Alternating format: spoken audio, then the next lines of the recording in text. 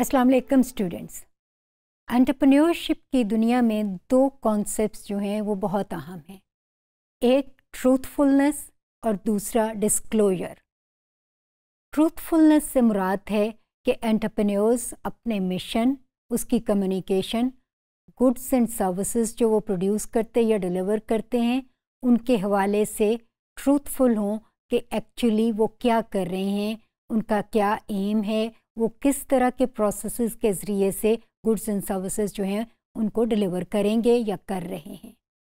Disclosure से मुराद है, ये जो ट्रूथफुल इंफॉर्मेशन है based on reality based on truth genuine उसको अपने क्लाइंट्स अपने स्टेक होल्डर्स पार्टनर्स सबको किस तरह से फुली डिस्क्लोज किया जाए कि उनको समझ आ जाए कि रियलिटी क्या है कितना जेनुअन आइडिया है, क्या प्रोसेसेस इन्वॉल्व हैं, क्योंकि लोगों के पास चॉइस होनी चाहिए कि अगर वो किसी ख़ास प्रोसेस से एग्री नहीं करते फॉर एग्ज़ाम्पल किसी फंडिंग स्ट्रीम से एग्री नहीं करते तो वो डिसाइड कर सकें बेस्ड ऑन इंफॉर्मेशन जो ट्रूथफुली एंटरप्रेन्योर उनसे शेयर करते हैं कि वो उस गुड्स उन गुड्स और सर्विसेज़ को अवेल करना चाहेंगे या नहीं करना चाहेंगे। या वो उसमें क्या बेहतरी चाहते हैं या क्या चीज़ जो है वो उनको सूट नहीं करती। ये जो दो रिलेटेड कॉन्सेप्ट्स हैं ट्रूथफुलनेस और डिस्क्लोजर ये हमें, ये एथिकल टर्म्स हैं। ये आप एथिकली करते हैं मॉरली करते हैं सोशल एंटरप्रेन्योर्स अपने आप को ओब्लाइज फील करते हैं वॉल्टरली वो ऑनेस्ट जेनुअन ट्रूथफुल रहना चाहते हैं, होते हैं और वो वॉल्टरली उसको डिस्क्लोज़ करते हैं। लेकिन ये इन चीज़ों को ऑब्ज़र्व करना या ना करना एंटरप्रेन्योर्स को लीगल रेजीम में ले जाता है, जहाँ पे कॉन्ट्रैक्ट और टॉट ला जो है वो आके एक्टिवेट हो जाता है। Contract social entrepreneurs regular basis पर कॉन्ट्रैक्ट्स करते हैं। उन्हें अपने इन्वेस्टर्स और फंडर्स के साथ कॉन्ट्रैक्ट्स करना होते हैं। उन्हें अपनी बेनिफिशरीज़ के साथ कॉन्ट्रैक्ट्स करना होते हैं कि वो क्या गुड्स और सर्विसेज़ डिलीवर करेंगे, किन टर्म्स पर करेंगे। उन्हें अपने एम्प्लॉज़ के साथ कॉन्ट्रैक्ट्स करना होते हैं कि उनके क्या रोल्स एंड रिस्पॉन्सिबिलिटीज़ हैं और क्या राइट्स हैं। सोशल एंटरप्राइज में काम करते हुए तो ये मुख्तलिफ़ किस्मों के कॉन्ट्रैक्ट्स हैं जो सोशल एंटरप्रेन्योर्स करते हैं। कॉन्ट्रैक्ट करते हुए उन्हें ट्रूथफुल होने की ज़रूरत होती है कि वो अपने एम्प्लॉयज़ अपने बेनिफिशरीज़ अपने इन्वेस्टर्स को सही चीज़ें जो हैं, वो इन्फॉर्मेशन दें। और उन्हें डिस्क्लोजर करना होता है ऑनेस्ट और कैंडिड के उनके क्या इरादे हैं, क्या उनका मिशन है, क्या काम का तरीक़ाकार है, क्या एक्सपेक्टेशंस हैं, ये सारी चीज़ें। अगर वो ये नहीं करते तो टॉट जो है, वो एक्टिवेट हो जाता है, जिसके बारे में हम अभी बात करेंगे।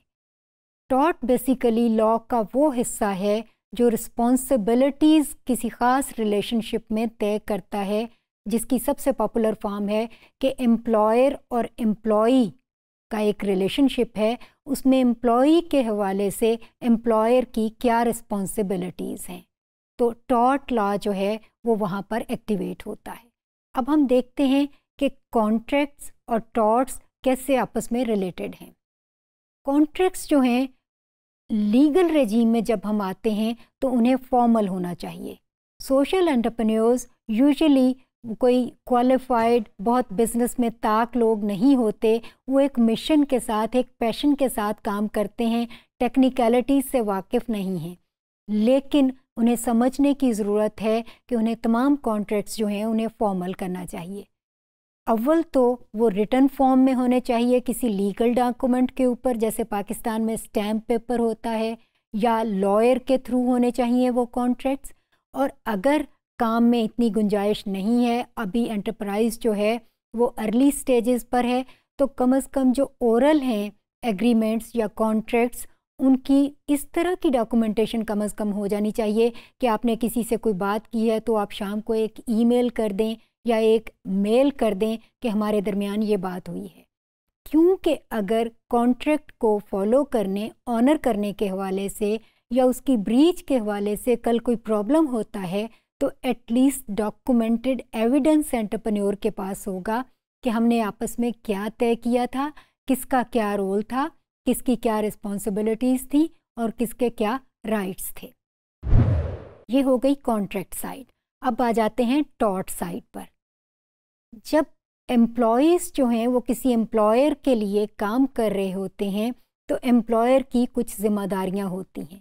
फॉर एग्ज़ाम्पल उसमें एक बड़ी जो फॉर्म है ज़िम्मेदारी की, वो नो no हार्म है कि एम्प्लॉयज़ को काम के दौरान जो है वो उस काम की वजह से या उस काम को करते हुए या एंटरप्रेन्योर या एम्प्लॉयर की पॉलिसीज़ की वजह से किसी किस्म का नुकसान नहीं पहुँचना चाहिए।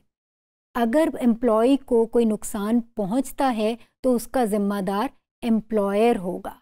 यानी वो अगर कॉन्ट्रैक्ट दोनों के दरमियान जो है, वो एक काम के हवाले से है कि एम्प्लॉयर इतना पे करेगा और एम्प्लॉय ये गुड्स या सर्विसेज़ डिलीवर करेगा तो उसके बियॉन्ड अगर एम्प्लॉय को कोई डैमेज होता है, कोई नुकसान होता है, किसी किस्म के रिस्क का सामना करना पड़ता है तो उसकी ज़िम्मेदारी जो है वो एम्प्लॉयर पर आती है, खा वो कॉन्ट्रैक्ट के अंदर लिखा हो या ना हो।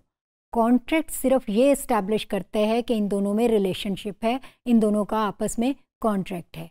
टॉट जो है वो एक्टिवेट हो जाएगा जब इवन कॉन्ट्रैक्ट के बियॉन्ड कुछ भी, कोई डैमेज कोई रिस्क जो है वो एम्प्लॉय को दरपेश है। इसकी मैं आपको एक सादा सी एग्ज़ाम्पल देती हूँ कि अगर कोई एम्प्लॉय है किसी सोशल एंटरप्राइज में और वो शाम को छुट्टी करके ऑफ़िस से घर जाते हुए ऑफ़िस की कोई डाक डिलीवर करने जाता है या किसी बेनिफिशरी को कोई मैसेज देने के लिए जा रहा है तो इवन अगर वो ऑफ़िस वहीकल इस्तेमाल नहीं भी कर रहा, अपना पर्सनल वहीकल यूज़ कर रहा है और ऐसे में कोई एक्सीडेंट हो जाता है तो डैमेजेस की जो ज़िम्मेदारी है, वो एम्प्लॉय पर नहीं होगी, बल्कि एम्प्लॉयर यानी एंटरप्रेन्योर पर होगी। तो ये कॉन्ट्रैक्ट और टॉट का लॉ है, जो हमारे एंटरप्रेन्योर्स ख़ास तौर पर सोशल एंटरप्रेन्योर्स जो कि टेक्निकल लोग नहीं हैं, जिन्हें बिज़नेस की दुनिया की उस तरह से टेक्निकलिटीज़ का नहीं पता और लीगल टेक्निकलिटीज़ का तो बिल्कुल ही पता नहीं होता।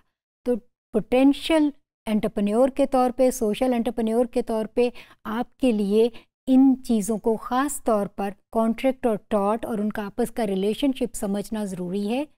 का आप एम्प्लॉयर की हैसियत में हों या आप एम्प्लॉय की हैसियत में हों, दोनों तरफ़ आपके जो रोल्स और रिस्पॉन्सिबिलिटीज़ हैं, जो आपकी ट्रूथफुलनेस है, जो आपकी पर्सनल इंटेग्रिटी है, वो प्रोटेक्ट होती है थ्रू कॉन्ट्रैक्ट एंड टॉट लॉज थैंक यू